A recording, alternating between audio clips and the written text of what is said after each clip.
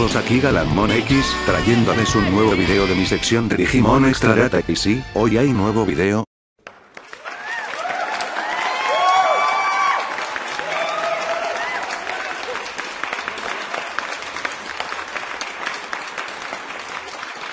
y esta vez es sobre Agunimon y todas sus evoluciones, tomando como base la línea evolutiva mostrada en Digimon Frontier, y claro cabe mencionar que no es necesario pasar por cada una de las evoluciones y que cualquier Digimon puede pasar por las mismas, ya que estas son evoluciones de Digispirit, y no necesariamente se debe pasar como cualquier otra línea Digi evolutiva, sin más que decir comencemos.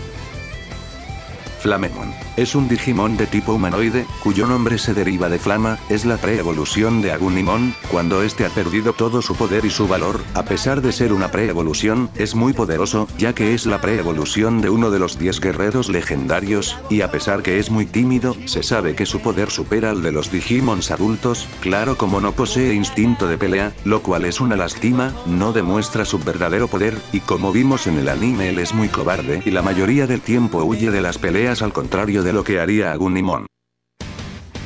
Agunimon. Agunimon, es un Digimon de tipo demonio humanoide, su nombre original es Agnimon, el cual se deriva de la palabra hindú Agni que es utilizada para referirse al dios del fuego, y su nombre de la versión latina, Agunimon, es una forma de hacerle tributo a Agumon, el Digimon compañero de Kai, y a que como todos sabemos, esta temporada se pensaba que sería la última y está llena de homenajes a las temporadas anteriores, Agunimon posee el poder de uno de los 10 guerreros legendarios, en su interior posee las llamas del Del mundo digital, y gracias a que es del elemento fuego, se supone que no es afectado por ningún ataque que tenga que ver con este elemento, Agunimon es capaz de manipular los elementos de su entorno, así como a la misma naturaleza como se demuestra en uno de los episodios de Digimon Frontier cuando este va al rescate de sus amigos, posee el Digispirit humano del fuego.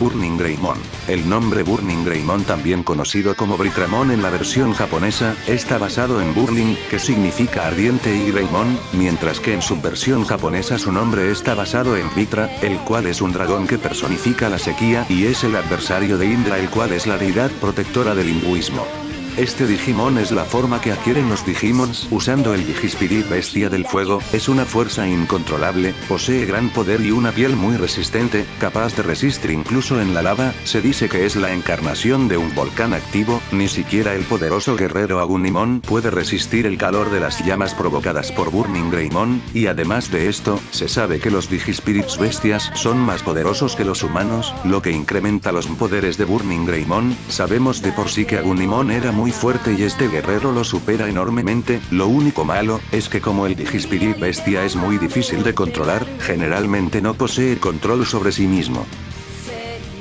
Aldamon. Es la combinación de los dos Digispirit, tanto del humano como el bestia, la cual fue posible en el anime gracias al poder de Serafimon, posee rasgos combinados de ambas evoluciones, posee el cuerpo de Burning Greymon junto con sus alas, posee la cabeza y los brazos de Agunimon, pero con una versión mejorada de las armas de Burning Greymon, este al ser una combinación de ambos Digispirits, posee la sabiduría de los Digimons humanos, y el poder de los Digimons bestias, en esta forma fue capaz de derrotar a Mercurimon con los datos de Serafimón, se dice que cada uno de sus ataques posee una fuerza comparable a la de las bombas nucleares.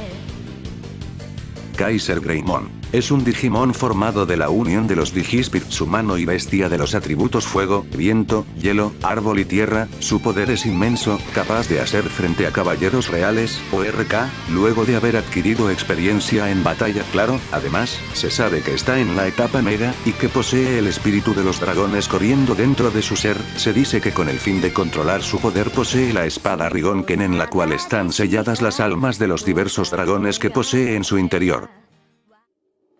Bueno con esto acaba el video de hoy, y si se preguntan por qué no hay de Susanon Mon, es porque haré luego un video especial para él, pero tranquilos no tardará mucho, nos vemos en el siguiente video, pero antes de despedirnos llegó el momento de los saludos, le mando un saludo a Iron Man Mark 45 el guerrero metálico y a Alan Hades HD, que me pidieron saludos en el video pasado, bueno ahora sí sin más que decir, me despido y les mando un saludo digital, soy Galanmon X y hasta la próxima.